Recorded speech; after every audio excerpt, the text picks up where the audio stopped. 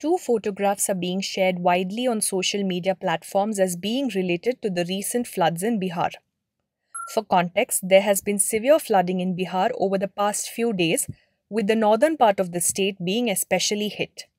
Back to the photographs, we did a reverse image search on each of these to check if these are actually connected to the Bihar floods.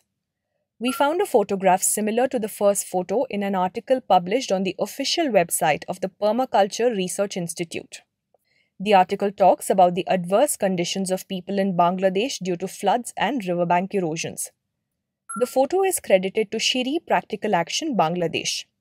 We then searched for the photo on the EEP Shiree website and found a link to the organization's Flickr page. The description for the photo says that it was shot in 2011 as part of an outreach program for Bangladesh. We also found a similar photo in an article on the weADAPT online platform, which is also related to Bangladesh.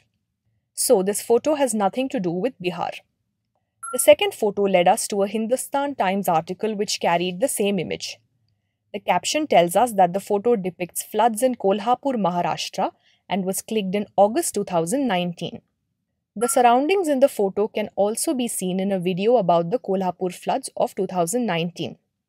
Natural disasters often lead to a deluge of misinformation, and this situation may intensify with the ongoing Bihar floods as the state is going into assembly elections this year, throwing in a political angle in the melee. So it is best to check for the truth in a post before forwarding it.